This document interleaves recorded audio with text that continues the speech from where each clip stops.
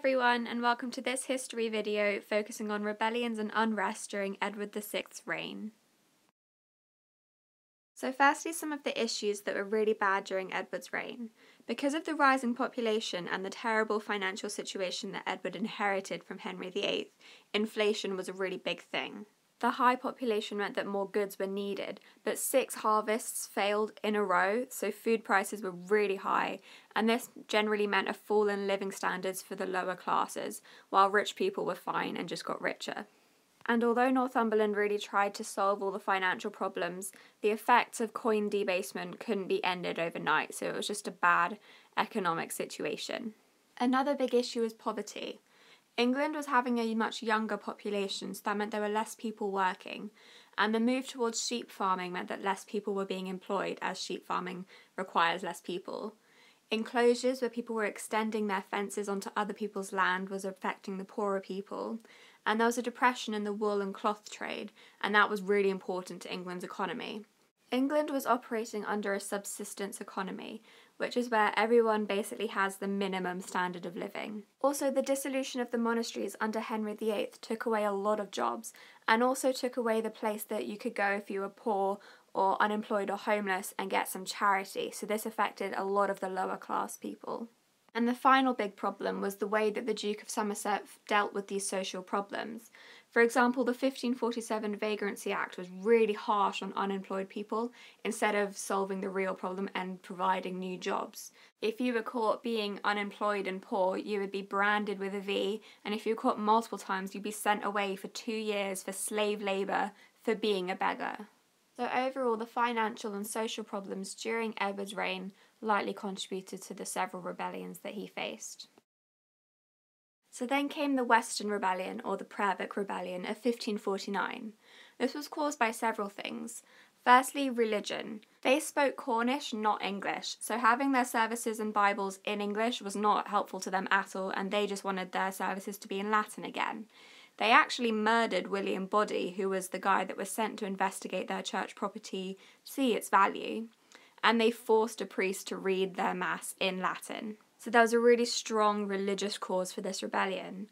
Also important was the political side of it, as there was a power vacuum after the Courtenay family had their downfall and they had no leader of the gentry in the area.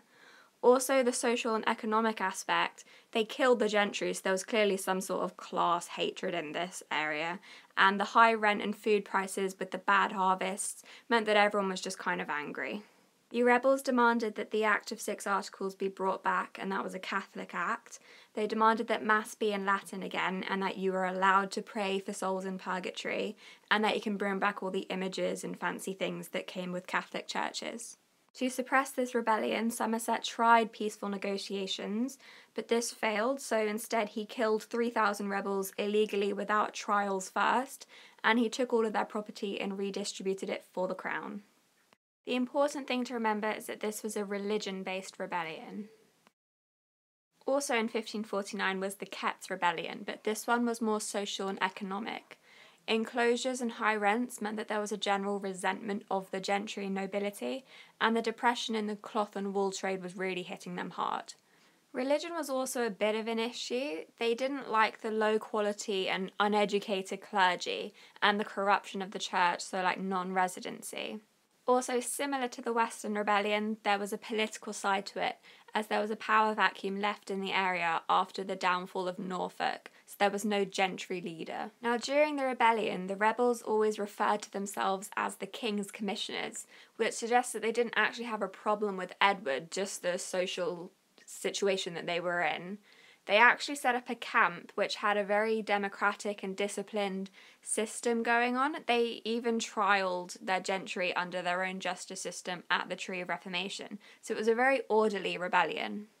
Their demands involved lowering taxes and rent prices, putting an end to enclosures, and having better quality clergy teach the poor. So their demands were very social economic rather than religion. To suppress this rebellion, Somerset offered 16,000 rebels a pardon if they dispersed. But in the end, the royal army swooped in and killed another 3,000 rebels. Kett and 49 others were executed after going through the legal process under the treason laws from the Treason Act 1547, so they dealt with them legally this time. Finally, the Lady Jane Grey affair in 1553. Under the device for the succession, Edward named Lady Jane Grey as the next monarch of England and excluded his sisters Mary and Elizabeth. He did this for religious reasons as he wanted to preserve Protestantism, and Mary was a strong Catholic, so he knew that she would undo a lot of his religious reform if she became queen. So on the 6th of July, Edward died, and on the 8th of July, they publicly announced his death. Now, Mary immediately proclaimed herself as queen and decided to march on London gathering troops as she went.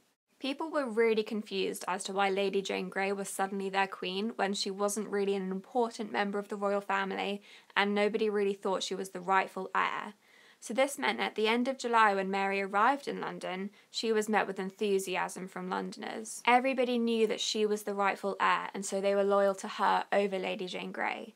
This shows that legitimacy was more important than religion, as at this point Protestantism was supposed to be strongest in London, but it shows that people didn't really care about religion, they just wanted the rightful heir, and to them that was Mary, not Lady Jane Grey.